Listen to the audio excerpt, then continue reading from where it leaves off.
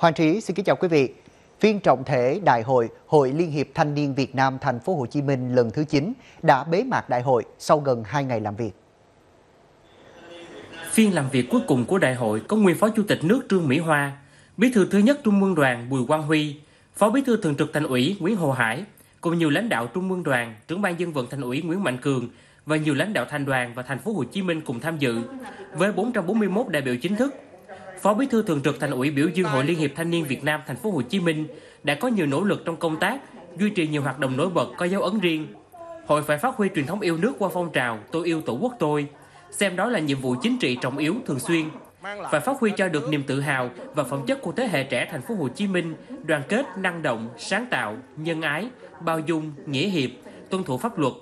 Bên cạnh đó, thành phố trông cậy vào nhân tố con người, trước hết ở thanh niên, những người quyết định tương lai của thành phố trong những thập kỷ tới.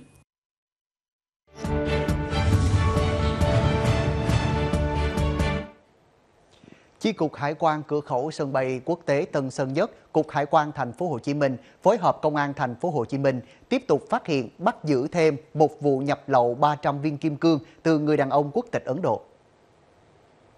Theo đó, qua soi chiếu hành lý, đội thủ tục hành lý nhập khẩu, Chi cục Hải quan cửa khẩu sân bay quốc tế Tân Sơn Nhất đã phát hiện hình ảnh nghi vấn từ vali hành lý của ông DAK, quốc tịch Ấn Độ, nhập cảnh từ Hồng Kông, Trung Quốc về thành phố Hồ Chí Minh có dấu hiệu nghi vấn nên đã phối hợp với các lực lượng thực hiện kiểm tra trọng điểm.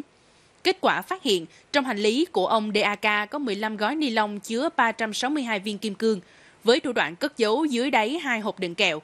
Trước đó vài ngày, Chi cục Hải quan cửa khẩu sân bay quốc tế Tân Sơn Nhất cũng đã phối hợp cùng Phòng Cảnh sát Kinh tế Công an thành phố Hồ Chí Minh phát hiện bắt giữ ông BSH, quốc tịch Ấn Độ, nhập lậu 716 viên kim cương. Theo đó, qua kiểm tra, các cơ quan chức năng đã phát hiện trong hành lý của ông BSH có nhiều tập giấy nhỏ in chữ IGI và 10 gói ni lông chứa 716 viên kim cương cất trong ví lẫn cùng quần áo. Các đối tượng này đã thừa nhận các hạt nhỏ trong 10 gói ni lông nêu trên là kim cương, vận chuyển từ Ấn Độ vào Việt Nam để giao cho khách hàng.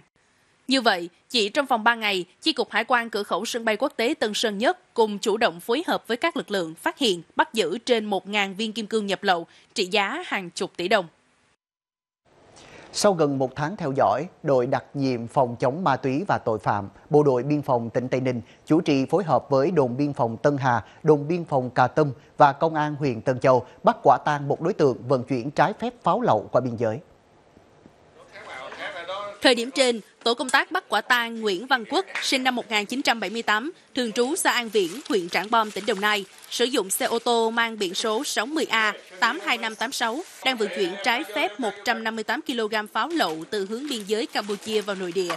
Kiểm tra tăng vật, các lực lượng chức năng phát hiện trong 158 kg pháo có đến 3 loại pháo nổ, gồm pháo ném và pháo hoa mang nhãn hiệu Rickbum, có xuất xứ từ Trung Quốc. Bước đầu điều tra, Nguyễn Văn Quốc khai mua số pháo trên từ một người đàn ông trên khu vực biên giới với giá 44 triệu đồng. Sau khi nhận hàng xong, định vận chuyển về Đồng Nai tiêu thụ, nhưng đã bị lực lượng chức năng phát hiện và bắt giữ. Hiện các lực lượng chức năng đang tiếp tục điều tra làm rõ đường dây mua bán, vận chuyển pháo lậu qua biên giới. Cơ quan cảnh sát điều tra Công an thành phố Hồ Chí Minh vừa khởi tố hai đối tượng về các tội sử dụng mạng máy tính, mạng viễn thông, phương tiện điện tử thực hiện hành vi chiếm đoạt tài sản và thiếu trách nhiệm gây hậu quả nghiêm trọng. Trong khoảng thời gian từ tháng 12 năm 2021 đến ngày 26 tháng 4 năm 2022, đối tượng Phạm Thị Tường An đã chiếm đoạt số tiền hơn 7,1 tỷ đồng từ nhiều tài khoản khác nhau. Căn cứ kết quả điều tra, cơ quan cảnh sát điều tra công an thành phố Hồ Chí Minh đã ra quyết định khởi tố vụ án hình sự, quyết định khởi tố bị can đối với Phạm Thị Tường An, sinh năm 1988, là chuyên viên tác nghiệp tín dụng của ngân hàng, về tội sử dụng mạng máy tính, mạng viễn thông, phương tiện điện tử thực hiện hành vi chiếm đoạt tài sản. Khởi tố bị can lệnh bắt bị can để tạm giam đối với Võ Thị Hà, sinh năm 1992, là kiểm soát viên ngân hàng về tội thiếu trách nhiệm gây hậu quả nghiêm trọng. Trong phần xét hỏi phiên tòa phúc thẩm bị cáo Trương Mỹ Lan và 47 đồng phạm trong giai đoạn 1 vụ án xảy ra tại tập đoàn Vạn Thịnh Phát, Ngân hàng Thương mại Cổ phần Sài Gòn SCB và các đơn vị có liên quan. Bị cáo Trương Mỹ Lan, cựu chủ tịch tập đoàn Vạn Thịnh Phát cho biết đã thưởng tiền cho nhiều người nguyên là lãnh đạo và nhân viên SCB. Trả lời về lý do thưởng tiền cho nhân viên, bà Trương Mỹ Lan cho biết vì nhân viên SCB phải chịu nhiều áp lực, đặc biệt trong bối cảnh SCB gặp khó khăn khi tái cơ cấu. Do đó, bị cáo cảm thấy cần hỗ trợ để giữ chân những người đã cống hiến hết mình cho SCB. Bị cáo Lan còn cho biết đã thưởng cho nhiều nhân viên khác nhau, không riêng gì bị cáo Bùi Anh Dũng, cựu chủ tịch ngân hàng SCB. Tại tòa, bị cáo Trần Thị Mỹ Dung, cựu phó tổng giám đốc SCB xác nhận đã nhận 300.000 cổ phiếu trị giá 3 tỷ đồng từ bị cáo Lan. Trong quá trình điều tra, tài sản của bị cáo Dung bị ngăn chặn lên đến 470.000 cổ phiếu. Bà Dung đồng ý sử dụng tài sản này để khắc phục hậu quả vụ án. Bị cáo Trương Khánh Hoàng, cựu quyền tổng giám đốc SCB, được bà Lan thưởng 100 triệu cổ phiếu trị giá 100 tỷ đồng. Bị cáo Dũng đồng ý hoàn trả lại tài sản để khắc phục thiệt hại và đề nghị hội đồng xét xử xem xét vai trò và hoàn cảnh phạm tội để giảm nhẹ hình phạt. Trong khi đó, Võ Tấn Hoàng Văn, cựu tổng giám đốc SCB cho biết mình không nhận khoản thưởng nào khác ngoài tiền lương và không rõ lý do bị cáo Lan tặng thưởng cho các bị cáo khác. Đối đáp lại, bà Trương Mỹ Lan giải thích việc thưởng cổ phiếu là để hỗ trợ nhân viên chịu áp lực vào thời điểm tái cơ cấu SCB, nhưng bị cáo Văn đã nghỉ trước khi việc này diễn ra.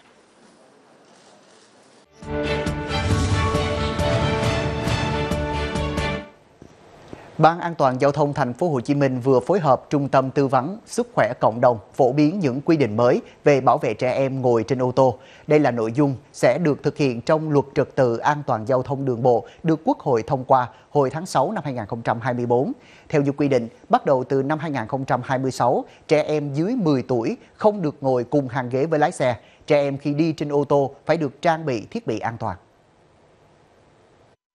Trong những năm qua, sự gia tăng nhanh chóng của sở hữu ô tô tại Việt Nam khá cao. Tỷ lệ tăng chủ sở hữu ô tô cũng tỷ lệ thuận với nguy cơ tai nạn giao thông liên quan đến ô tô có xu hướng tăng cao. Tuy nhiên hiện nay, việc trang thiết bị an toàn cho trẻ em khi ngồi trên ô tô chưa được quan tâm. Tốc độ sở hữu xe à, ô tô của Việt Nam thì cũng tăng lên rất là nhiều. À, chúng ta cũng có được cái việc mà phát triển các cái hệ thống đường cao tốc cũng như là sự tham gia giao thông mà có chuyên chở trẻ em ở trên các cái à, xe à, hơi, xe gia đình thì cũng bắt đầu gia tăng. Tuy nhiên thì à, với người lớn thì ở trên xe chúng ta cũng đã có rất là nhiều biện pháp, ví dụ như là giảm tốc độ hay là thắt ra dây an toàn của người lái cũng như người hành khách thì đã có những cái quy định này rồi. Tuy nhiên thì đối với trẻ em thì hiện nay là chúng ta chưa có cái gì cả. Do vậy là là cái việc đưa cái điều luật này vào tôi cho rằng đây là một cái cái, cái quy định cũng rất là văn minh và hướng tới bảo vệ trẻ em rất là tốt.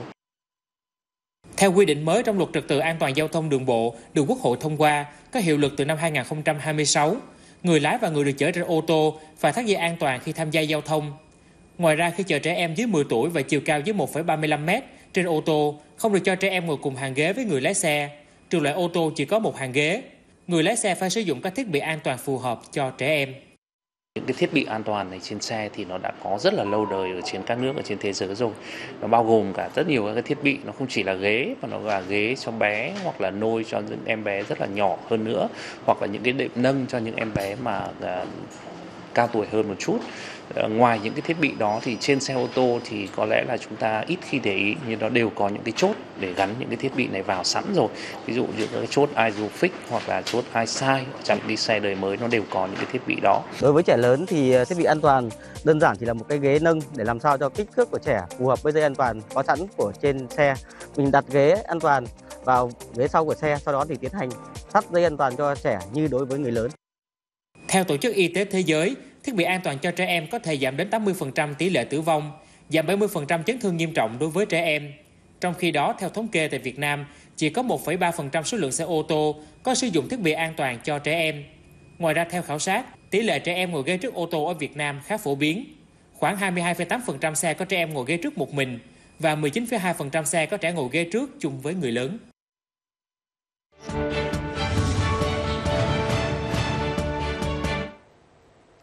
Thưa quý vị, lợi dụng sự phát triển của khoa học công nghệ, tội phạm lừa đảo chiếm đoạt tài sản trên không gian mạng ngày càng diễn biến phức tạp. Các hình thức lừa đảo luôn thay đổi hết sức tinh vi, khó lường. Phòng an ninh mạng và phòng chống tội phạm sử dụng công nghệ cao Công an tỉnh Hậu Giang đã triển khai các biện pháp nghiệp vụ, thực hiện nhiều giải pháp để đấu tranh, ngăn chặn và cảnh báo các phương thức thủ đoạn của các loại tội phạm này. Trước diễn biến phức tạp, phương thức thủ đoạn tinh vi như ma trận của tội phạm trên không gian mạng thì công tác đấu tranh phòng chống loại tội phạm này không chỉ là nhiệm vụ riêng của lực lượng công an mà còn có sự tham gia huy động sức mạnh sự phối hợp của các bộ ngành cơ quan doanh nghiệp và người dân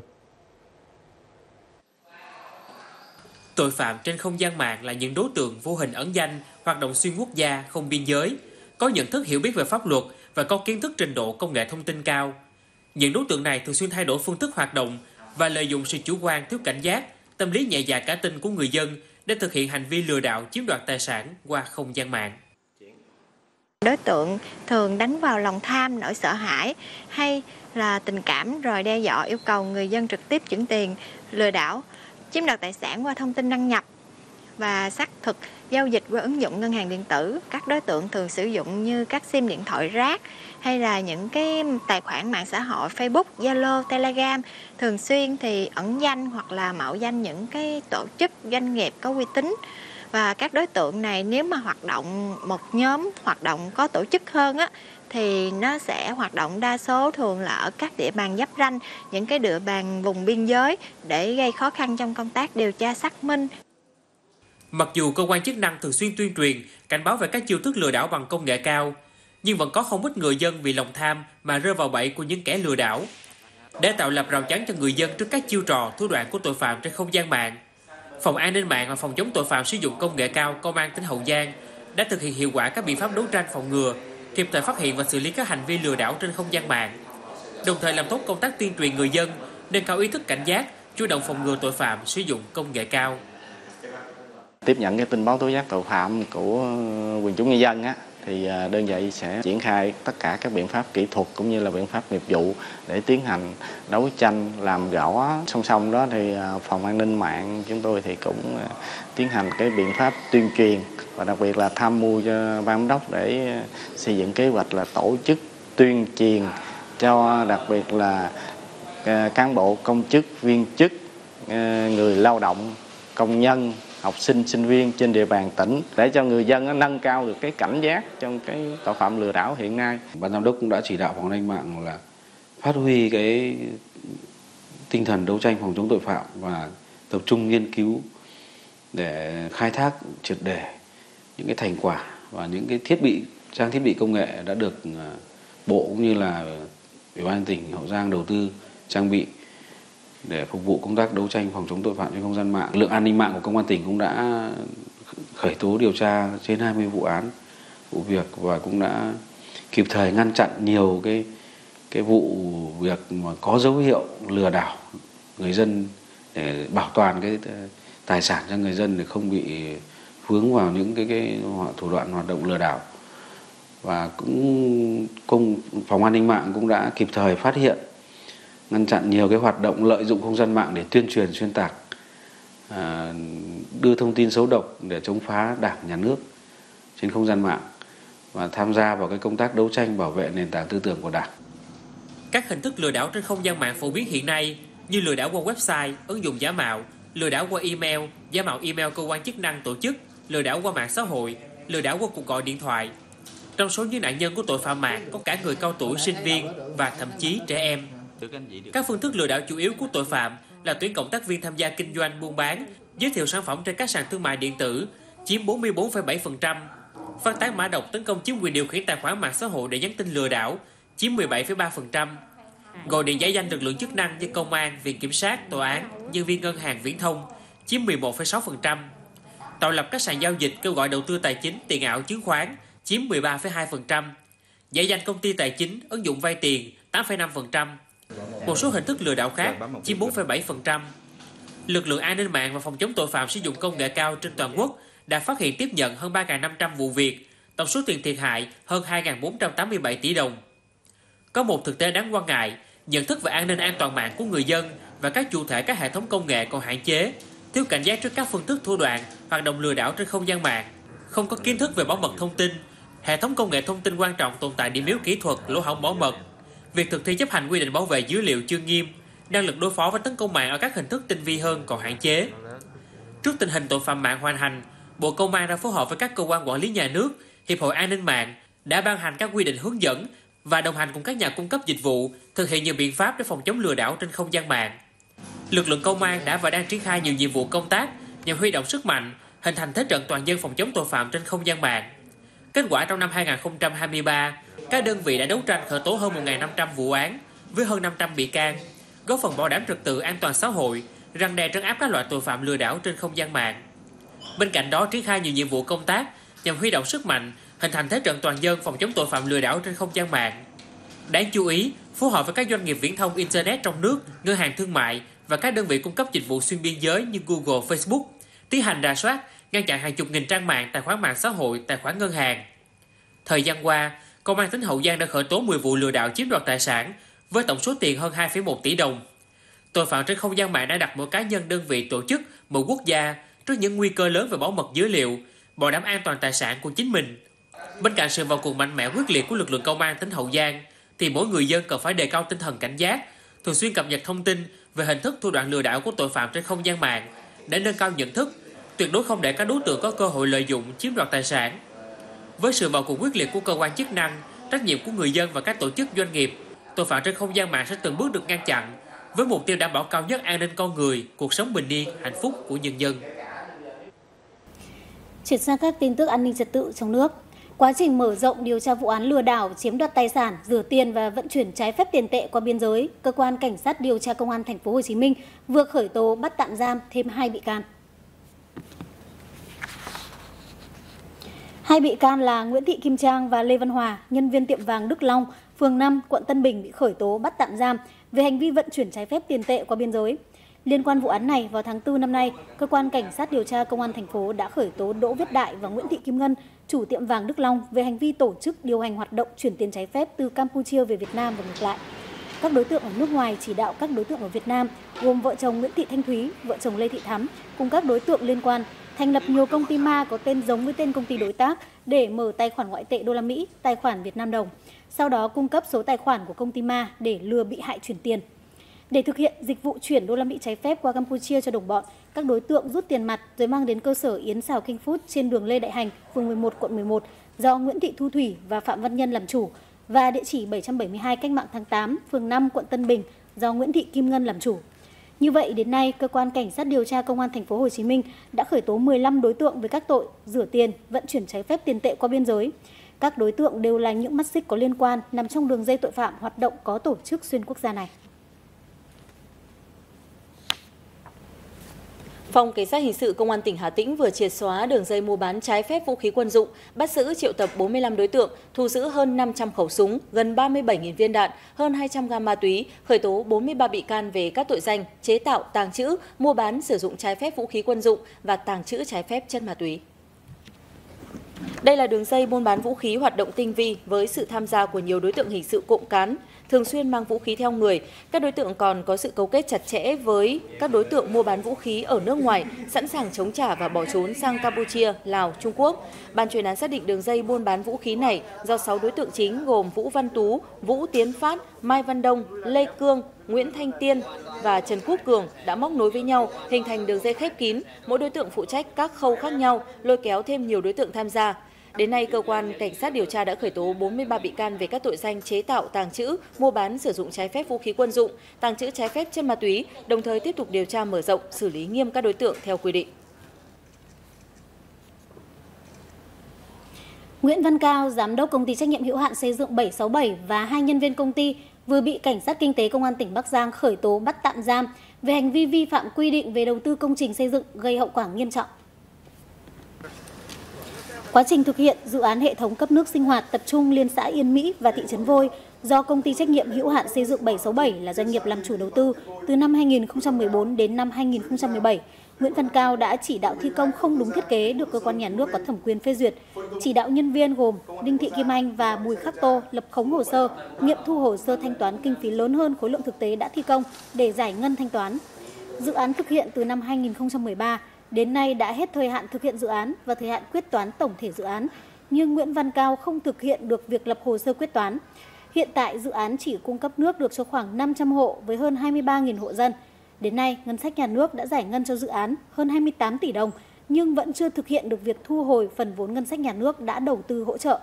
Hành vi của Nguyễn Văn Cao và những người có liên quan đã gây thiệt hại và lãng phí ngân sách nhà nước với số tiền rất lớn.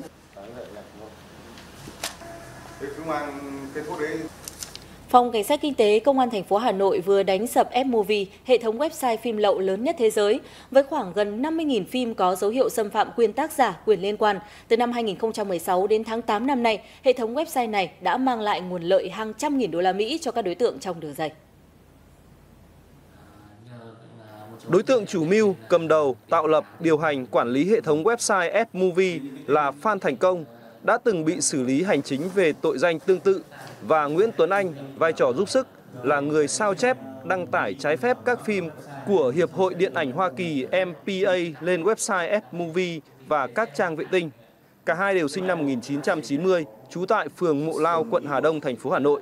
Tại cơ quan điều tra, các đối tượng đã khai nhận toàn bộ hành vi phạm tội chị quản trị của trang fmovie.tu thì uh, tôi có đăng tải trình chiếu miễn phí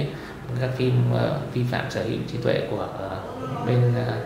uh, sở, uh, MPA. Tôi hưởng lợi uh, là do các bên uh, nhà quảng cáo họ liên hệ quảng cáo và đặt quảng cáo trên website và sau đó trả tiền theo lượt hiển thị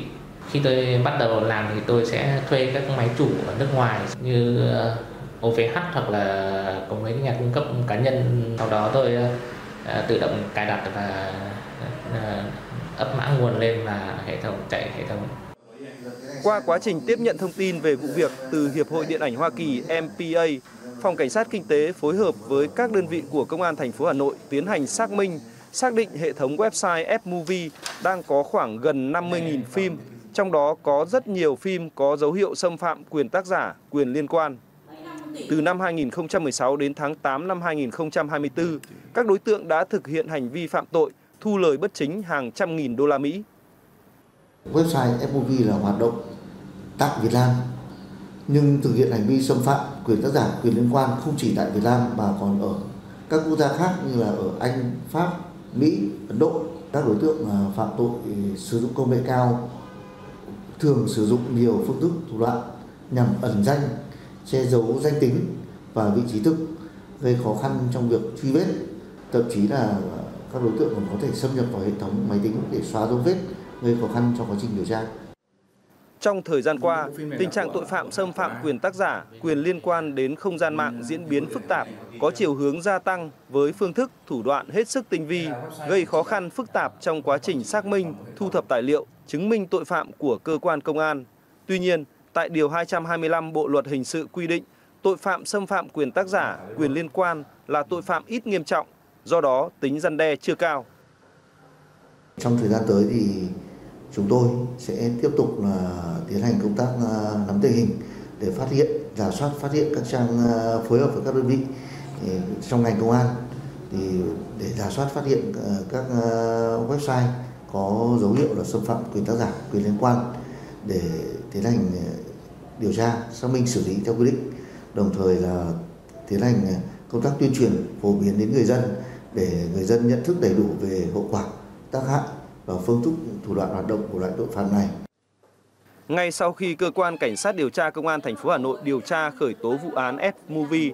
các trang thông tin truyền thông trên thế giới, Hoa Kỳ, Anh đã có nhiều bài viết về việc Công an Việt Nam đã đánh sập hệ thống chiếu phim lậu lớn nhất thế giới. Liên minh sáng tạo và giải trí ACE, Hiệp hội Điện ảnh Hoa Kỳ MPA đã gửi thư cảm ơn Công an thành phố Hà Nội bởi F-Movie đã tồn tại hoạt động vi phạm gần 9 năm, thậm chí vi phạm của website này đã được đưa ra Quốc hội Hoa Kỳ để thảo luận, áp dụng nhiều biện pháp ngăn chặn xử lý nhưng đều không hiệu quả. Chiều ngày 8 tháng 11, cơ quan chức năng đã tìm thấy xác máy bay Y-130 rơi tại khu rừng thuộc buôn Drang Phốc, xã Krông Anna, huyện Buôn Đôn, tỉnh Đắk Lắk. Theo đó, xác máy bay Y-130 được tìm thấy vào khoảng 14 giờ 30 phút chiều ngày 8 tháng 11 tại khu vực thuộc trạm kiểm lâm số 9, vườn quốc gia Yorkdon. Ghi nhận tại hiện trường cho thấy khu vực máy bay rơi là rừng rậm có nhiều cây rừng tre nên máy bay vẫn còn khá nguyên vẹn chưa bị bốc cháy. Hiện cơ quan chức năng cùng các đơn vị liên quan đã có mặt tại hiện trường để có phương án di chuyển máy bay ra khỏi khu rừng.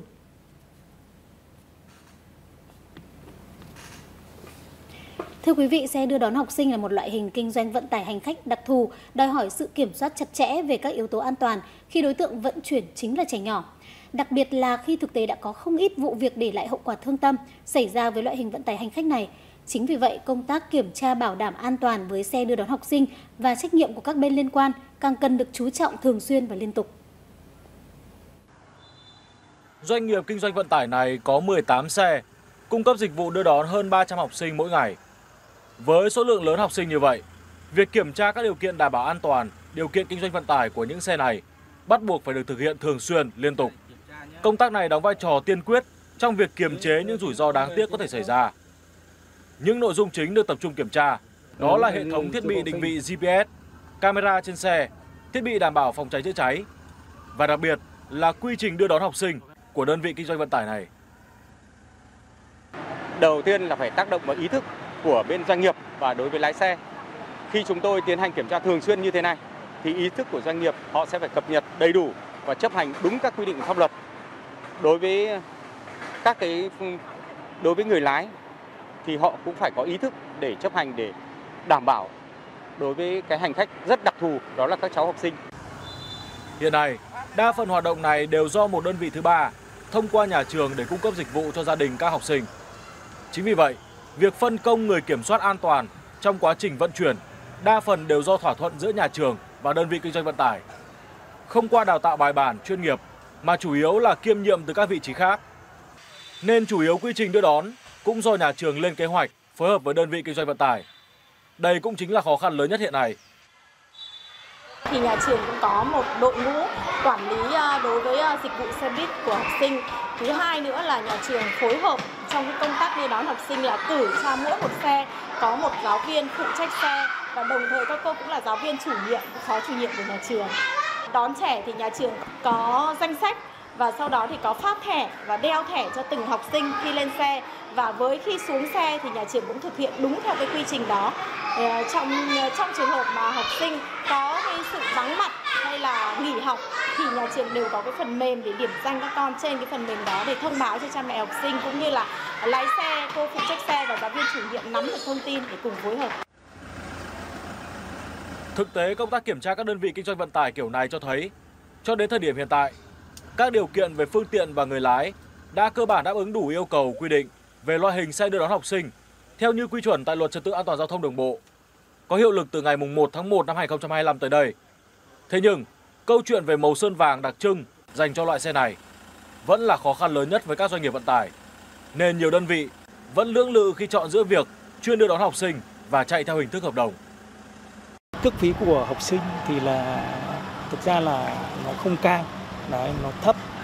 phù hợp nếu như mà nói đúng ra thì phù hợp với những ờ, cái ờ, anh em mà nghỉ hưu gọi là kiếm thêm một chút thôi. Thế còn nếu như mà ờ, thực sự về để kinh doanh thì hầu như các xe kinh doanh người ta cũng không đậm đà gì về về cái đưa đón học sinh này cả. Thế còn khi mà người ta đã đưa đón học sinh thì ắt là người ta cũng sẽ có phải kết hợp với một số khách bên ngoài nữa thì người ta mới tồn tại. Đấy, thế thì uh, khách hàng bên ngoài thì nhiều khi người ta cũng không đồng ý về cái cái chuyện là màu sắc riêng. Nhiều doanh nghiệp vận tải vẫn bảo lưu ý kiến cho rằng nên duy trì việc dán logo nhà trường trên xe như hiện nay thay vì thay đổi hoàn toàn về màu sơn nhận diện. Vì vậy cho đến thời điểm hiện tại, nghĩa là chỉ còn một khoảng thời gian ngắn nữa thôi, những quy chuẩn về xe đưa đón học sinh trong luật trật tự an toàn giao thông đường bộ sẽ chính thức có hiệu lực. Thế nhưng, các doanh nghiệp vận tải vẫn chưa chuyển đổi mà vẫn chờ các động thái từ phía các cơ quan chức năng. Theo dự báo của Cục Quản lý Thiên tai, Địa vật lý và Khí quyển Philippines, bão Yinsing có khả năng yếu thành áp thấp nhiệt đới vào 7 giờ ngày 12 tháng 11 khi di chuyển áp sát vùng biển và đất liền miền Trung của Việt Nam. Do ảnh hưởng của bão Yinsing, vùng biển phía đông khu vực Bắc Biển Đông có gió mạnh cấp 6, cấp 7, sau tăng lên cấp 8 đến cấp 10, vùng gần tâm bão đi qua cấp 12 đến cấp 14, giật cấp 16, sóng biển cao từ 4 đến 6 mét, vùng gần tâm bão từ 6 đến 8 mét, biển động dữ dội. Do vị trí bão suy yếu thành áp thấp nhiệt đới khá xa đất liền nên hoàn lưu bão sẽ gây mưa vừa ở các tỉnh từ Thừa Thiên Huế đến Khánh Hòa. Tổng lượng mưa trong hai ngày 12 và 13 tháng 11 là khoảng 250 đến 300 mm, có nơi vượt 300 mm. Khu vực ven biển Thừa Thiên Huế cần đề phòng có sóng cao theo hướng đông bắc trong cuối ngày 11 và ngày 12 tháng 11. Tối qua, Phó Thủ tướng Trần Hồng Hà đã ký công điện yêu cầu Ủy ban nhân dân các tỉnh từ Quảng Ninh đến Khánh Hòa theo dõi diễn biến của bão, kiểm soát chặt chẽ tàu thuyền ra khơi, sẵn sàng sơ tán dân cư tại các khu vực nguy hiểm, kịp thời triển khai các biện pháp bảo đảm an toàn tính mạng và tài sản cho người dân khi bão có nguy cơ ảnh hưởng trực tiếp.